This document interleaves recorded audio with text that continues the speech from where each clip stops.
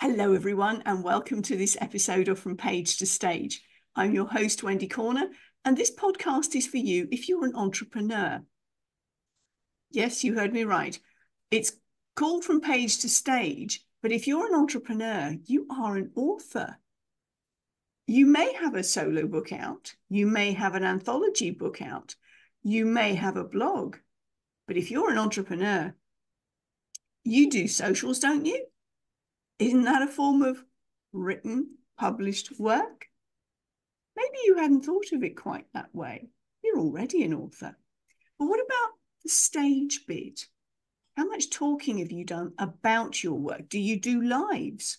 That's a stage. Do you do podcasts? That's a stage.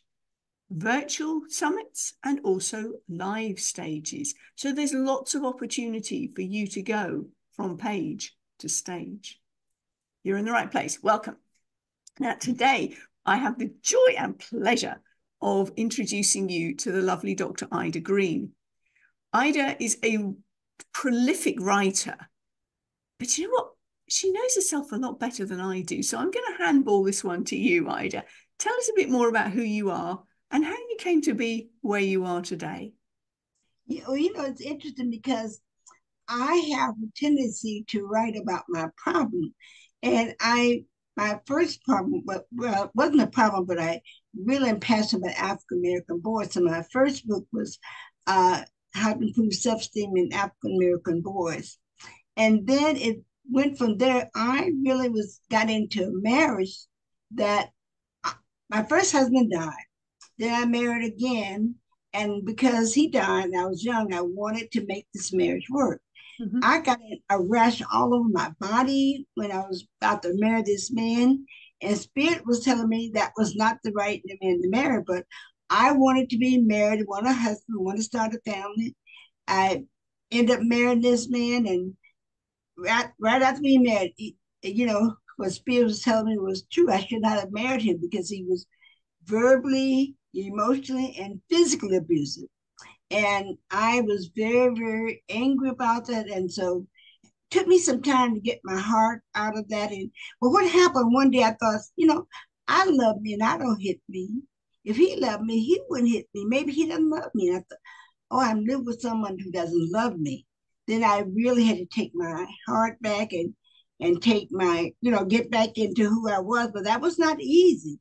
Mm. I ended up being in a um, shelter and all that. But I started writing about that. And I thought, you know, I'm going to, if this is what it is, I'm going to listen to my intuition from now on. So I started writing. I was very angry, started writing anger books and self esteem books. I just started writing about my hurt and my pain and my sorrow. So now I have 24 books. So I took my lemon lemons and turned them into lemonades. But that's how I started writing. I just write about whatever I'm feeling and they become books, but it was not never intended to be a book. It was just about me to express myself as an outlet. Right. Okay. So you find it very cathartic to get your your thoughts, your feelings on paper. Beautiful. Oh yeah. Beautiful. okay. So Ida, where are you based? In San Diego, California. San Diego. Great. Beautiful. Thank you very much for sharing that. So that that's how you started you're writing for what then became published. I want to take you back. When was when did you start to write? Did you write as a child? Um, I had my uh, diary as a child. Mm-hmm. I wrote things in a diary just for healing and expressing myself. I had my diary with a little lock on it. so no one ever looked at my diary. I just, yeah. So I think I realized I've been writing all my life because I had my diary to express myself, but I didn't think of it then. I didn't think until I really got into this abusive marriage and thought, I need to publish this. And I don't know who who suggested I publish it, but I did. well done you well done you so creative right well the expressing yourself has always been part of your life that's beautiful beautiful yeah. can you remember how old you were when you started your your little diary with I the I had my diary when I was like I know I was 15. I could have been 14, but I had a diary. Definitely I was 14, I had a diary. Because I was had a lot of secret desires and you know, I wanted to be a nurse and all this stuff and all the boys I was admiring, but I knew I couldn't marry them because I had a choice to become a desire to become a nurse. I had to write about my romance because I couldn't engage in that. I, my goal was become an RN, and that's what I did. My aunt was an RN, and I became an RN. But so I had to write about all these guys I wanted to date, but couldn't date them. You're fixed. You were focused on becoming a nurse. Oh yeah, absolutely. And I became a nurse. Good. My, Good. I, my aunt Ida was an LVN, and I became an RN. Right. So you were. Can you can you explain what those acronyms are, please? Well, one is a licensed practical nurse, which is the lower level, and the registered nurse is the one who uh, is next to the doctor. She takes orders. She runs the, the whole hospital. You know, the nurses run the whole show. The doctors just write the orders, but the nurses are the ones who carry out all the work and do everything. So I, I taught nursing. I, I became a nurse and I started teaching nurses and I started teaching courses. I did everything that was in nursing. Beautiful, beautiful. You're not nursing now, though. No, because I became this. I injured myself lifting a heavy patient, a 300 pound patient. I injured my back, so mm-hmm. I couldn't do that anymore. But once I injured myself, I started teaching nursing, right? And, you know, started writing and teaching courses for nurses. So I did the, the mental work, not the physical. Got it. Got it. I just okay. got my license about five, six years ago. Right. Got it. Okay. So that was when you started to write, say 14, mm-hmm. 15 in your in your wonderful diary. And you've been writing ever since. You mentioned about teaching when you were with your nursing teacher's head on. That's obviously a form of speaking. So when did you start speaking? Was it at when you would would in that teaching role, or have you been a speaker? I have been speaking my teachers saw something in me that I did not see in myself. So I was in plays in school from the third grade to the 12th grade. So I was always in plays. I really am an actor as well because I was speaking in plays. Every year they had me in a play. beautiful, beautiful.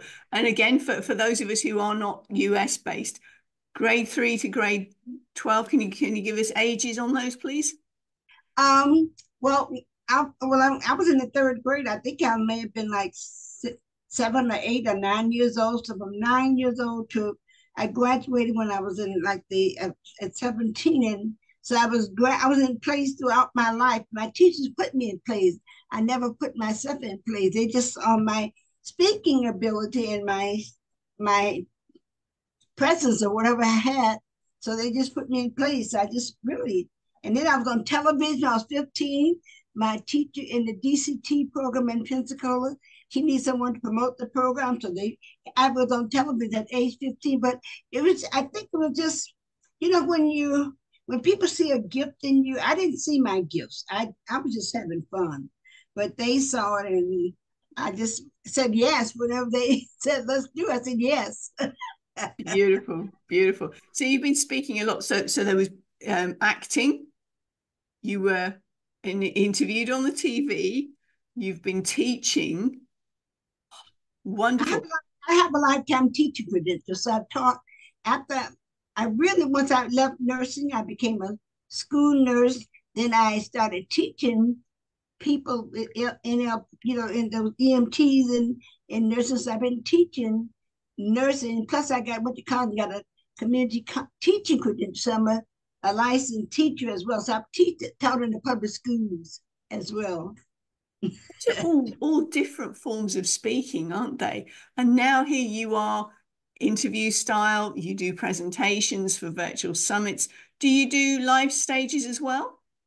Oh, yeah. I put on my own um, program to uh, um, with Speak to Self. I took a course with Lisa Satsman and I learned how to so from the stage, so I sold my program from the stage and people bought it.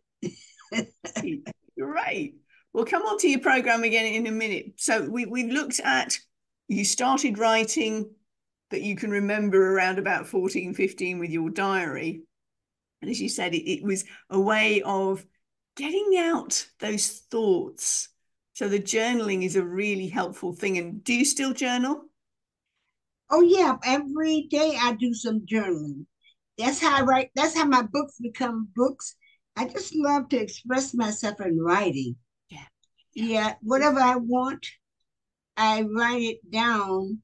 And uh yeah, I just write it down. In fact, when I when I was small and leaving, getting ready to leave Florida to go to Chicago, I was mm-hmm. really scared. So I had to write down what was the pros and the cons and what was going to happen because I was just really anxious. I broke out in a rash. So I write all that stuff down mm-hmm. before I could leave Pensacola to go to Chicago to go to nursing school.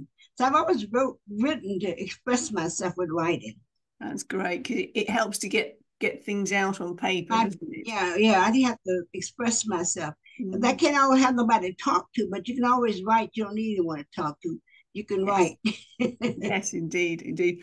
I was talking to, I was interviewing somebody yesterday who spent some time in Zimbabwe, and they said that the only writing area that they, the only only paper they had was the margins around the print on a newspaper. Oh. There was no other paper that they could use. And so wow. they were very teeny tiny and, and just used the maximum amount of, of opportunity they had on that. So yeah, we're very blessed, aren't we, to be able to pick up pen and paper and just write down our thoughts. Beautiful. Okay, so we've looked at your your writing, we've looked at your speaking. Tell us what you're working on at the moment. Well, you know, I getting into that intuition with that man, mm-hmm. I realized that that was um I didn't listen to. So now I'm teaching intuition. So that's I am so passionate when I'm teaching it. I I go I went I go to the psychic fairs in San Diego to give these soul readings, and I realize that I'm so passionate and so happy when I'm doing those readings because it's channel. I'm a clear channel. I haven't always been a clear channel, but now I'm a clear channel and God speaks to me. And I don't always remember the words. So I call my clients and say, What did God tell you in that message? And but I just get so much joy out because it says things to them that I would never say to them. in no, words. Yep. So it gets so it gets really, really funny and it really tell people about personal stuff that they need to do with boyfriends and husband. Well, mostly with boyfriends and husband, whatever you tell, give them some advice on what they need to do. Mm-hmm. just really gets me funny. It's just really funny. You know, I thought God has a sense of humor, telling these people to do what they should be doing and not let boys boyfriend take advantage of them. I, it's it's awesome. Is it mostly relationship stuff that you're you're dealing with? Well, all kinds of stuff. When God speaks to me, like one lady, uh, and I don't call myself a medium, I'm a clear channel, but one person had a had a problem with um someone had died on mm-hmm. the other side. They want to know if they were okay. Well, they are okay, but they want to check in. You know, they have, don't have any problem when they're dead, but we checked in and they were able to talk to the to the family member on the other side. So I, I don't always, I don't call myself a clear check, a medium because God speaks to us something between God and me. But God will let them go to the side of it's going to, uh, and they allay their anxiety is going to be for a good purpose. Then they can go. But I don't normally talk to the dead. You know, that's not something I do. Okay. Okay. So that's what you're working on at the moment. Now you you have a number of books out. Tell us about the one that you're you're particularly focused on at the moment in terms of promoting. Yeah, the one that I'm well, two of them. One is Are You Ready for Success? A spiritual journey, and the other is Journey to Loving Yourself. And I, because I grew up in the South where there was discrimination, racism, I have been working on my self-esteem for years, my self-love. So I still have to work on that self-worth where I'm feeling worthy and I can ask for the money I want and feel comfortable asking for money because I grew up in poverty. So I still undervalue myself, my self worth, and value my contribution and don't always ask for how much I'm worth. I undercharge all the time. So I continually to grow in that space because I want to give, but I do need to be compensated for my gifts. And so I don't always ask for what I'm worth. Got it. Okay. So that's the book that you you're looking at at the moment, which is remind us again. Journey, Journey to loving yourself. Journey to Loving Yourself. Okay. So that's what you're writing about. That's what you have written about. When did that book come out? Well, I I started it early and it was uh was, was it um self-esteem was on self-esteem. And I wrote that book about 10 years ago. Okay. But then it was really come out to my self-worth and loving myself. So I republished it about two years ago. And now it's Journey to Loving Yourself because loving yourself is a journey that takes you throughout life. We constantly finding fault with ourselves, criticizing ourselves. And I thought, well, I've been working on this self-esteem for years. So I've gone from self-esteem to self-identity to now I'm on my, and I've gone through the self-image. Now I'm on working on my self-worth because that's tied up with my money. And when I get that handled, I can become a millionaire and ask for what I want and Got get it. it. Got it. So, so uh, as you say, your your writing is actually cathartic for you because you're putting your thoughts out on paper. And you, you said in in the the information that I've got from you that you got a couple of bestsellers in there. Oh yeah, I have. I wrote a book with one um, a, a collab. I was part of a collaborative book, mm-hmm. and so I did write. It was a bestseller, but the one the person produced it and had me had my book as a part of it, but it was a collaborative. So I am a bestselling author, but they did all the work, not me. oh, hang on, no, no, no, no. You see, your that book would not be complete without you. Yeah. So it's every much your book is it is everybody else's. So love it, love it. Okay. So the the one the, the it's sorry the spiritual guide to success was it? No, journey to no. What it, it was? Uh, in fact, the book that I was a part of. No, no, don't worry about that one. The one that you're wanting to promote at the moment, the one that you yeah, want to show journey up to, to journey to loving yourself. Journey to loving yourself. Journey to loving yourself. Okay. Now, audience, what we will do is we will put in the show notes the pay the Amazon author page for Ida and you can go and see all of her wonderful work on there because they will all be listed.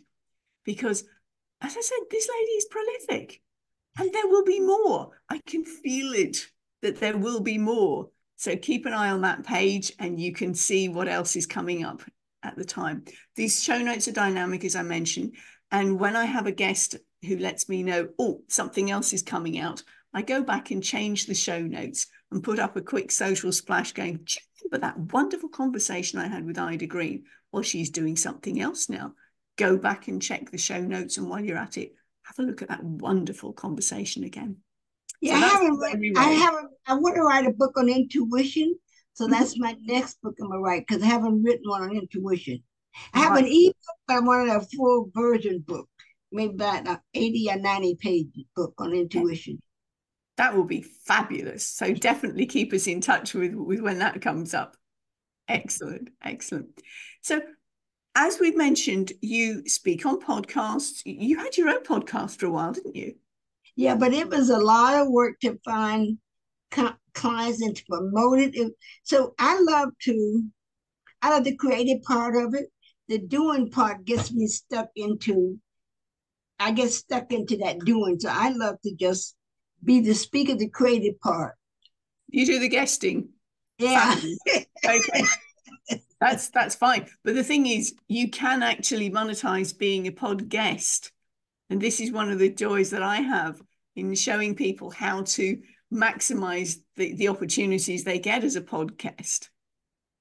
We can talk about that off air. Audience, if this sound, sounds something that you'd like to be involved with, DM me. Let's talk. So yes, we, so you you've done your your podcasting, you've done, as you said, the the virtual stages. We were talking off air about the fact that you've got another virtual stage coming up soon. All of this wonderful jazz. I'm going to ask you, Ida, how do you embody your words when you take them from page to stage? Well, what I do, I'm an expressive speaker, an expressive person. So I express my brilliance, my essence, uh, through my speaking. And also, my dad was a humorist, and I don't claim to be a humorist, but when I speak, my humor just shows up naturally, and it just it's a joy. But I I just let allow it to show up. It just in my natural expression, of who I am, it shows up. But I would not call myself a comic, but my humor and my joy shows up when I'm expressing the words. Beautiful. So you're fully present, you've taken those words, you're embodying the words yourself, aren't you? Yeah, absolutely. Yes, beautiful. And now following your intuition much better, have you had any rashes recently? Any what? Rashes. You said that you were having a rash before you. Oh no, no, no. I, I that was when when I'm in the wrong place. But I now spirit guides me, and I'm paying more attention. So I am constantly aware of who I'm around, and I'm walk away from relationships that don't longer serve me. So I'm wiser now, and I don't uh, allow myself. Although I did, I adopted a boy, and I stayed with that boy after he graduated. I stayed with him much longer than I did. He finally went to prison. While he was in prison, I stayed with him. I think it was in like 10, 12, 15 years. I should have left him because he was addicted to prison didn't want to get out. So I stayed, I felt I didn't have a, I wanted to be a mother and wanted to have a child, but I should have let him go longer than I should. Because they told me once that, you know, you're not the kind of person to come, we would not put in prison. You're too positive. but I had this need to be a mother.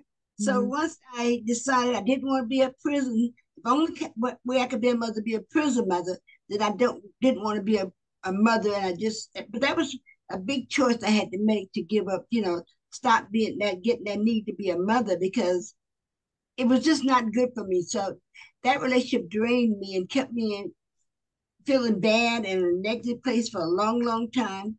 But I mm-hmm. had to, it was something that I needed to feel because I never had my own children.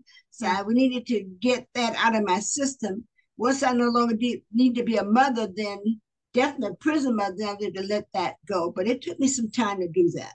Yes. Yeah.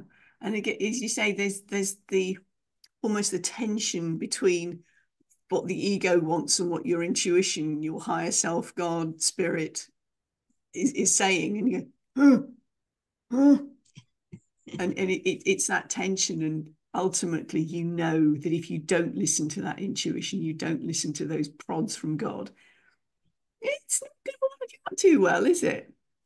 Yeah, it's it's a that's what I want to teach though. So that's why I want to teach others how to do that because it was a journey for me.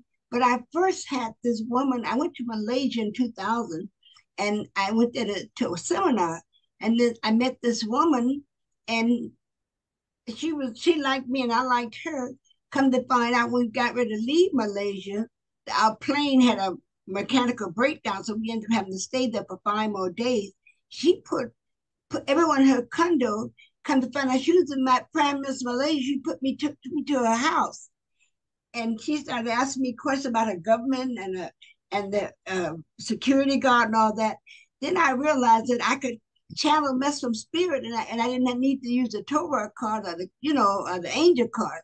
So that's what that's been like twenty years ago. That I started channeling messages from spirit. But mm-hmm. had she not saw that gift in me, I didn't see it in myself sometimes we don't see our hidden gifts, you know. So I, now I've been taking me 20, about 20 years now. So now I'm comfortable with channeling and first my it did I was uncomfortable because the church, my church doesn't agree in that and doesn't talk about it. So I wanted to be a Christian, yet I wanted to be honor God. So it took me some time to say, forget about the church this is a gift that God is speaking to me, and I just need to. So I don't talk to the people in my church about that. I just do what I need to do because when I need to pray, I'm going to God, not back to the church or the minister. Okay. Okay. Got it. So, how, in terms of your, what I'm asking for is a bit of an exclusive. I know you've got this book coming out. So, how are you going to be teaching about intuition? Is it is it not something that is different for everyone? It is everyone has everyone has intuition mm-hmm. but he expresses in a different way so in all the people in the planet everyone has a different way to express it like some people use tarot cards some people use crystal uh, i'm just a clear channel but it took me some time well i've been away from those cards now for about 20 years but i had to grow into the confidence and allow God to pour to me. I've heard let go and let God, but it took some time for me to realize that God was speaking through me and I could let it go. I thought, am I going to be different when I look different or how I'm the same? It's just that I had to allow God to take over my body and pour through me without me knowing what was going on. So I'm so curious. I want to know what's what are you saying? What's happening? So I don't know. So that's when I had these reading with these people. I called them, ask them, what did Spirit say to you? What was that message? Did you like it? Did did you benefit from it? And everyone that I've talked with said, oh, this is really good. I thought one lady, uh, one lady, this man said, uh, I did this past week. He said, I hadn't talked to my daughter. I, I, I did not get along with her mother and when she was little. And so she has not talked to me. And that gave me uh, peace of mind. And I can go talk to my daughter because every, you know, she, she's grown now, but every time I send her money, she sends it back. So he realizes now how he need to come have a conversation and admit his fault and what he did wrong and talk to her. But he said that gave him so much peace of mind to know that he could start the relationship with his daughter again. But I'm mm-hmm. not aware of those messages. I have to go back and ask them what the what was said so that they can. Um, Do you ever record those sessions? No, because it's not for me. It's for them. Why should I record something that's personal for them? They okay. paid me to hear a message, and I shouldn't be snooping on what God is saying to them. You just want to know anyway. well, I mean, yeah. I, ask, I call and ask, and they don't give me all the details. They give yes. me enough value to know that it, it served them. Yes. No, I, I love the idea. Thank you very much for clarifying that. Yeah. Well, we got we come pretty much full circle, Ida. As we're winding up, I'm going to ask you: Are there any final words you'd like to share with us? Yeah. Well, I want everyone to know that the, your intuition is dormant inside you and it needs to be awakened and activated. And that's my gift. I just recently had a session two weeks ago with a man, and we awakened all the seven chakras of the body. And his crown chakra, after all the activation, it was still dormant. So he need to have that again so he can awaken his crown chakra.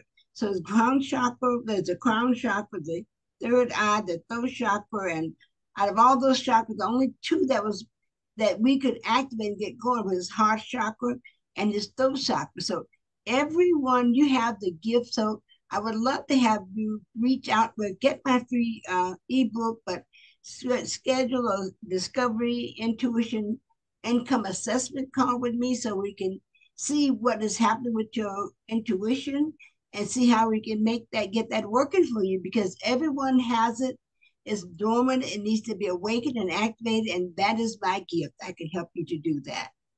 So you can be a light. Generous. You can be a light bearer in the world and spread more light. So and we can wipe out the darkness. That's very generous of you, Ida. Thank you so much. That information, audience, will be in the show notes. So again, check out the show notes and have a look at what what all the information there because in the show notes there will be the biography there will be some time stamping on the the, sec- the sections that are, are, are critical for you to go back and listen to. And then we've got some interesting hashtags and things at the bottom, as well as Ida's contact. So please do check those out. Comment, like, subscribe. You know the drill by now. Thank you so much, Ida. It's been a joy and a pleasure to interview you today. And I look forward to seeing you again very soon. Thank you again for sharing your from page to stage. Thank you. When the next book comes out, we will talk. oh, absolutely. That'll be another interview, I'm sure. I gotta write it first. oh yeah, yeah. That that slight thing comes in first. thank you so much, Ida. All right, thank you. Thank you, thank you. Love you much. Bye. Bye.